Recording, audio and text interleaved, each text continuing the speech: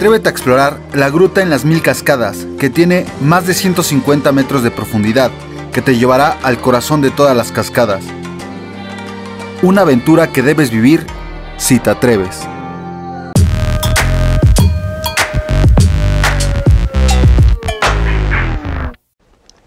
Así empezamos nuestra aventura por las grutas, con esta entrada a la cueva que te adentrará en este lugar misterioso.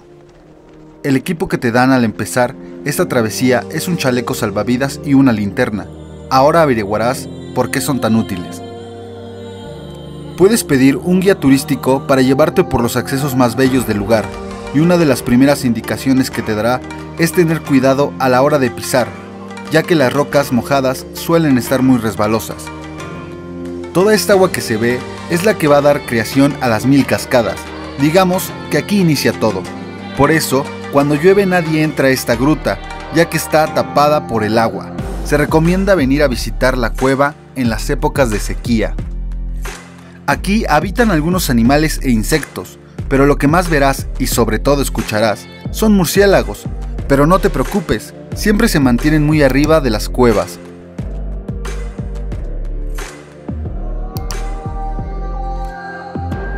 Lo primero que veremos a la hora de entrar es esta roca con un hueco en forma de huevo que se creó por una gota que caía a la piedra por cientos de años, un lugar donde podrás tomarte fotos.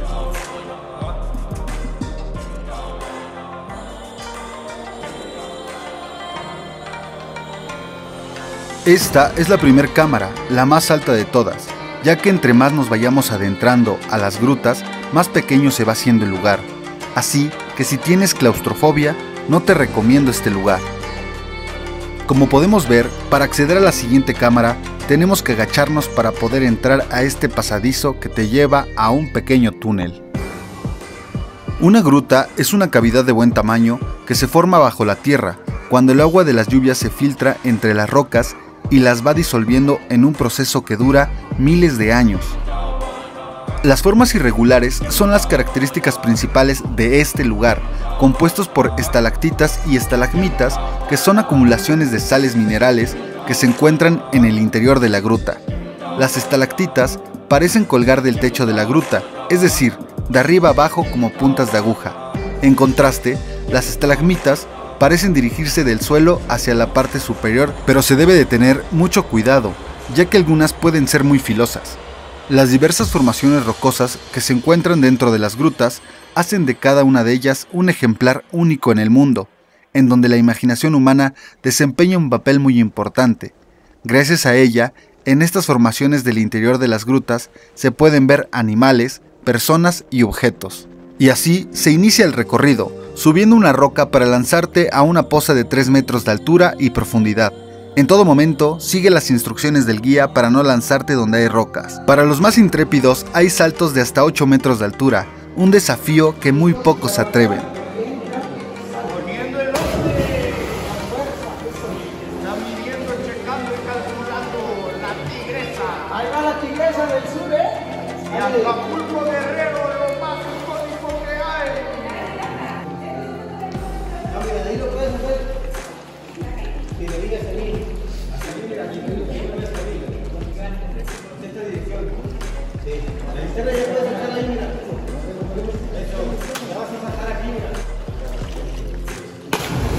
Ah, no mames.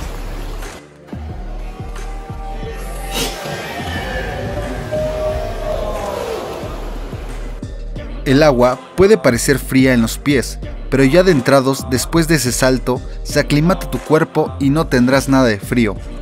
Ahora el recorrido lo haremos flotando.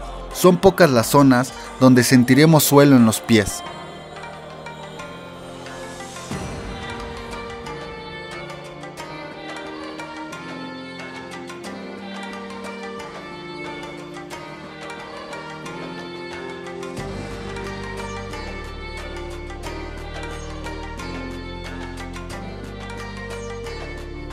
Como les mencionaba, los caminos pueden ser muy estrechos, como lo podemos ver en este lugar.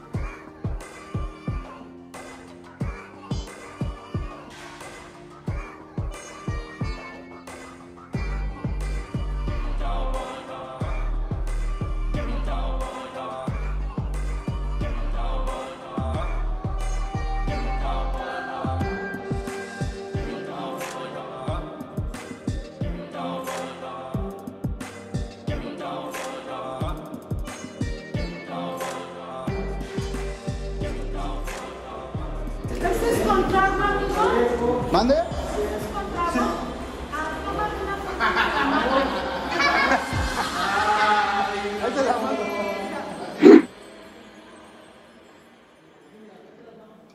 Así de grande pueden llegar a ser las cámaras. Te recomiendo no alejarte.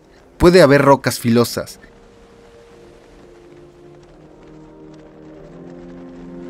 Y también así de altas e impresionantes. Detente un momento a admirarlas.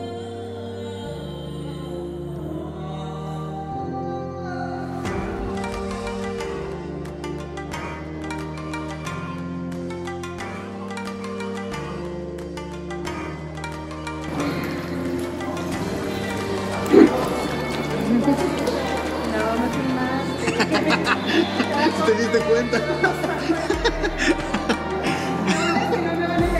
No, por el barro. Aquí se puede ver cómo el guía se encuentra de pie.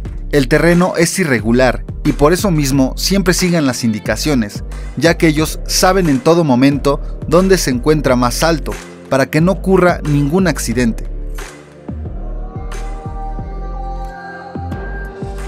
Nos adentramos hasta lo más profundo que se puede llegar, claro, sin bucear, ya que hay más cámaras, pero su acceso no está permitido al público en general, ya que hay algunas que aún no han sido exploradas.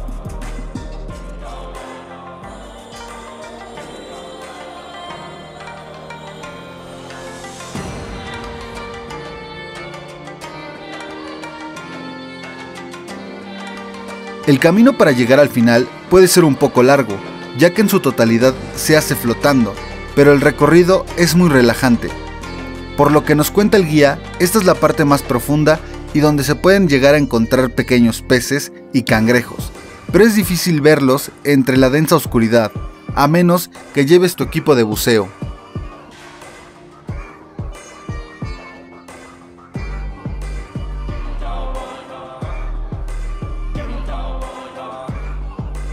Cuando llegamos a esta última cámara, la más lejana, se encuentran estas estalactitas diferentes a las demás, ya que contienen barro que puedes tomar y untártelo en la piel. Las principales propiedades de este barro es su efecto exfoliante, que ayuda a eliminar las impurezas y las células muertas. También ayuda a la hidratación de la piel y su elasticidad, gracias a su alto contenido de minerales. En conclusión, dejan la piel suave y más bonita.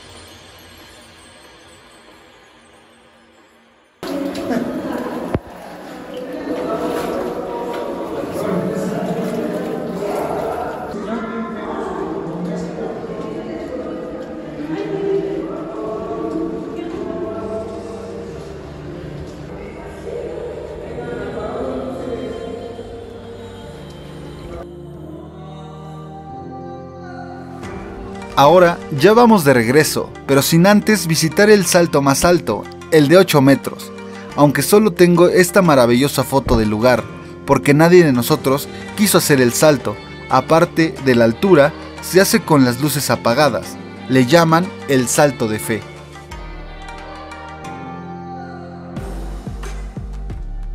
El último consejo que les puedo dar si visitan estas grutas es que en este lugar no hay nada de luz, más que el de las linternas que llevamos en la cabeza.